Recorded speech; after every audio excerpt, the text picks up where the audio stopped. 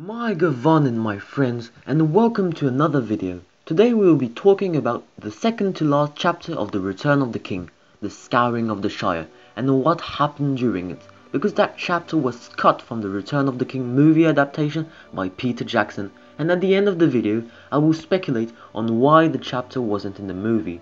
So, let's get right into it. To understand well the chapter I'm about to resume, we must go back to the Two Towers. As we know, Saruman was locked up in his Tower of Orthanc because the Ents raided Isengard and defeated him. However, Treebeard or Fangorn, the chief Ent, watches him and installs a barrier of Huorns all around Isengard so Saruman cannot escape without the Ents knowing. But Saruman manages to persuade Fangorn with his magic and dangerous voice to let him go and that is how he escapes Orthanc with his servant Wormtongue. So Saruman has escaped Nan Curunir and that is very important for the rest of our story. Now, back to our hobbits. As we know, Frodo and Sam have completed their quest and the Dark Lord Sauron is destroyed forever, and peace comes back to Middle-earth. Our four hobbits are heading home and Gandalf parts with them to go see Tom Bombadil and to tell him of their adventures. When they arrive to the Brandywine Bridge, they find it barred and Hobbit tells them that the orders come from the Chief, and Frodo suspects Mr. Lotho Sackville Baggins. After that, Bill Ferny, the evil man that they met in Bree, comes to investigate what happens, and Merry is so angry to find him that Ferny runs away. After that, the gatekeeper hobbits tells them that it, is, that it is illegal to come here, and they have access to nothing, and the Shire looks like a desolate place. They decide to go straight to Hobbiton to investigate to investigate the matter and on the road, a squad of sheriffs arrest the four hobbits. Frodo, Sam, Merry and Pippin laugh at them, and they even stay at the sheriff house, and they found and they found that it is also a desolate and ugly house. Then they headed back to Hobbiton, and they found it completely destroyed and ugly. But in the village of Bywater, they saw ill-favored men lounging against the inn wall. They were squint-eyed and sallow-faced. The ruffians talked to them about a certain person called Sharkey, probably the chief everyone is talking about, and then the ruffians start to insult them, and Pippin, furious, draws out his sword and says that he is the king's messenger.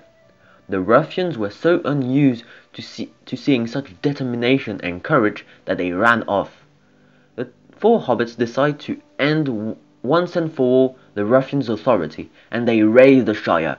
And Sam goes to see Farmer Cotton because he is the chief person about, and the hobbits needed him. Some ruffians came to end the raising of the Shire, but they fled because their chief fell dead with four arrows in him because he tried to stab Merry. But it was not over. More of them were to come, but for now they had a bit of peace. Farmer Cotton explained what had happened during the, this moment of peace. It had begun with Pimple, or Lotho, his real name. He had bought much, and had sold a lot of pipeweed. He had bought Sandyman's mill, but then men had come over and they started to build ugly houses and cutting down trees in the Shire. The mayor, however, had protested, but the ruffians took him to a hole in Michel Delving that they called the Lock Holes. Lotho had done real bad stuff like closing the inns, allowing men to steal the food, and let the hobbits starve. And then Sharkey came, and things got much worse then. Nobody had seen him, but Farmer Cotton says that he is the biggest ruffian of the lot, and the only thing he does is burn and destroys. He even cut the party tree. Now the battle was about to begin. The Tooks had come in reinforcement in the battle, and then the ruffians came, but they were outnumbered and the hobbits won the battle. It was called the Battle of Bywater, 1419, and it was the last battle fought in the Shire. But the hobbits hadn't finished. They needed to deal with this Sharkey. According to Farmer Cotton, he lives in Bag End. On their way, they saw the desolate land around them, and it was one of the saddest hours of their lives.